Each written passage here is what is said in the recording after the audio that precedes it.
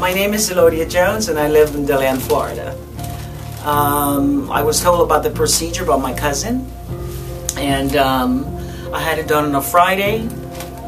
Uh, the procedure wasn't painful at all.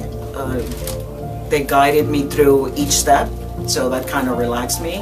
After the procedure, um, I felt a little soreness where they took the fat from and no pain on the knees. And from a scale of 1 to 10 I was feeling an 8 uh, on Sunday I went shopping.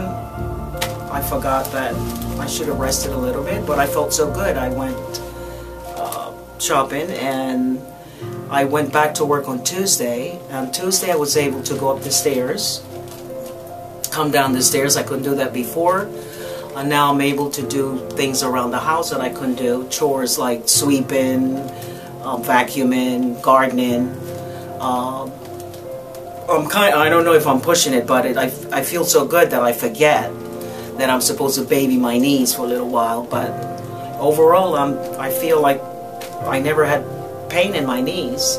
And as I said, from a scale from one to ten, it, in, every day is in, getting better. And there's no soreness, the inflammation went down.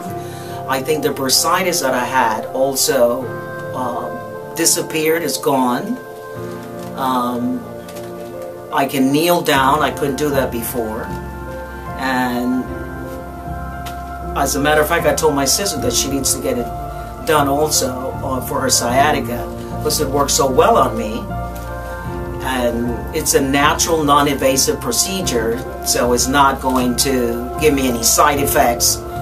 And I guess with the therapy that I'm going to get the laser treatments and all the other therapy physical therapy I think I can go back to the way I was originally.